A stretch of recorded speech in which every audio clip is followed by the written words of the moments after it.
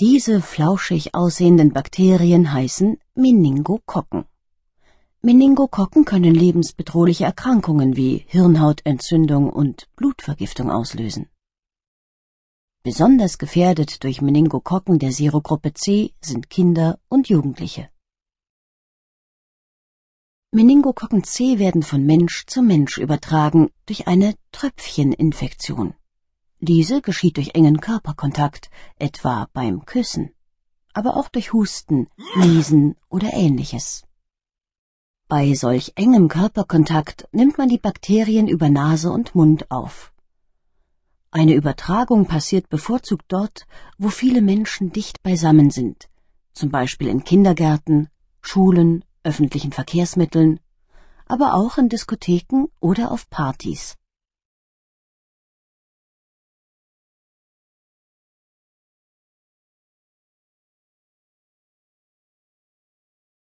In Nase und Mund angelangt, besiedeln Meningokokken C die dortigen Schleimhäute. Von hier aus können sie dann in den Körper eindringen. Im Körper vermehren sich die Bakterien dann rasant.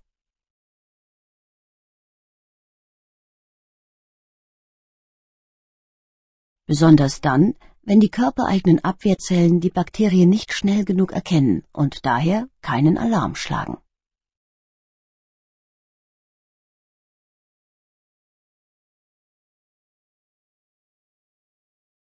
Befallen Meningokokken C überwiegend das Blutgefäßsystem, so kann das zu einer schweren Blutvergiftung führen.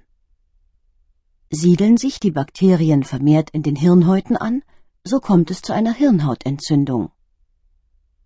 Diese beiden Krankheitsbilder können auch gemeinsam auftreten. Sowohl Blutvergiftung wie auch eine Hirnhautentzündung sind schwerwiegende Erkrankungen, die tödlich enden können.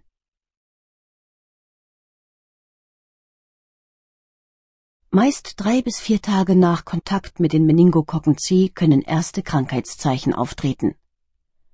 Zu Beginn der Erkrankung leidet der Patient an unspezifischen, grippeähnlichen Symptomen.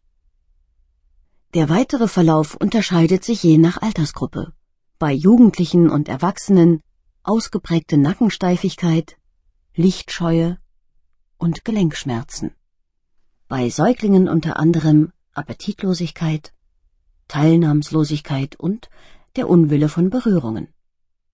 Die Erkrankten müssen schnellstmöglich im Krankenhaus mit Antibiotika behandelt werden, denn innerhalb weniger Stunden können Meningokokken C bei einem vollkommen gesunden Menschen zu schwersten Erkrankungen führen. Meningokokken C verursachen also Erkrankungen, die schnell lebensbedrohlich werden können. Wie bewahrt man sich davor? Langfristigen Schutz gegen Meningokokken C bietet die Impfung mit einem Konjugatimpfstoff. Diese empfiehlt sich vor allem bei Kleinkindern und Jugendlichen, den besonders gefährdeten Personen.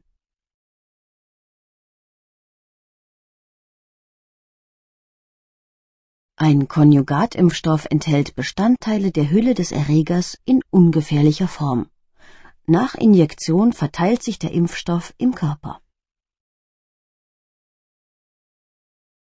Dank eines extra angefügten Trägerproteins erkennen die Abwehrzellen den Fremdkörper und reagieren mit Abwehrmechanismen.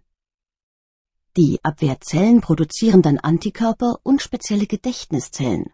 Diese merken sich ganz genau, wie der Fremdkörper aussieht.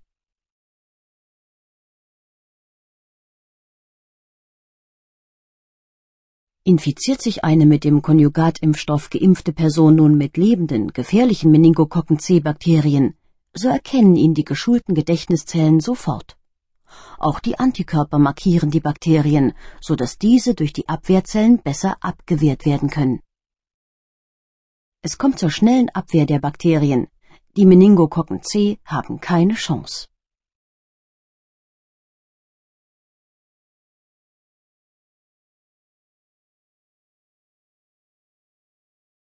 Auf diese Weise verringert die Impfung mit Konjugatimpfstoff die Infektionsgefahr mit Meningokokken C.